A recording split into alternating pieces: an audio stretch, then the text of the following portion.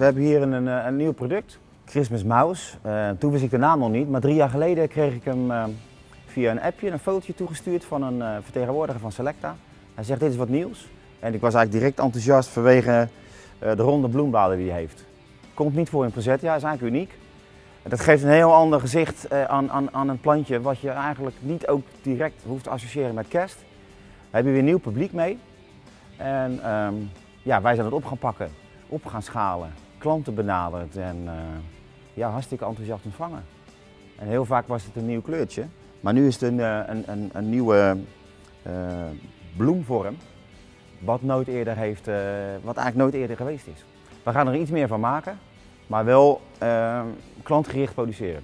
Zuinig zijn op een mooi artikel, dus houd het netjes in de markt.